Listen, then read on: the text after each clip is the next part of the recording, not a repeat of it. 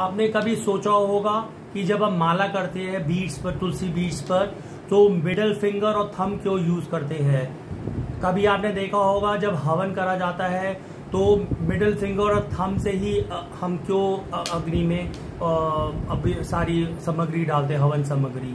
कभी आपने सोचा है? आप समझो ये हमारा हाथ होता है इस हाथ के पाँच उंगली होती है। जो थम होता है, वो ब्रेन को रिप्रेजेंट करता है। Brain means subtle body subtle body हमारी एक और बॉडी होती है, जिसको बोलते हैं इंटेलिजेंट फॉल्स ईगो और ब्रेन से बनी हुई होती है। माइंड से बनी होती है।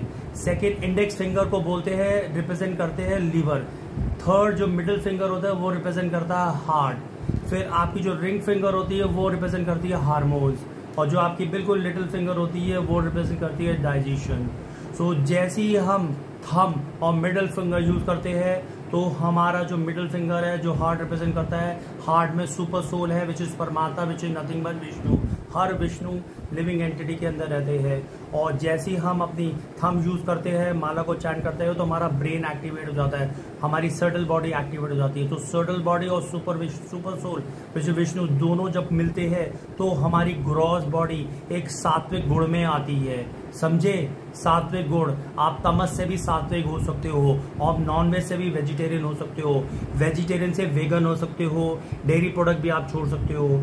आप जानवरों की हत्या करना बंद कर सकते हो, आप दूसरों को परेशान करना बंद सकते हो।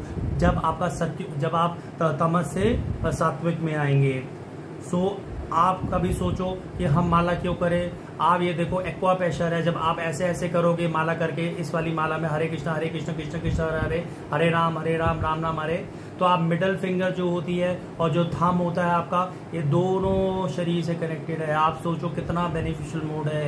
एक तो बॉडी आपकी सात्विक में हो जाएगी, भगवान के आपको दर्शन हो जाएँगे और जो आप भगवान ढूंढते रहते हो हर जगह और लोगों से पूछते हो, भगवान तो नहीं है तो आपको भगवान का एहसास होने लग जाएगा।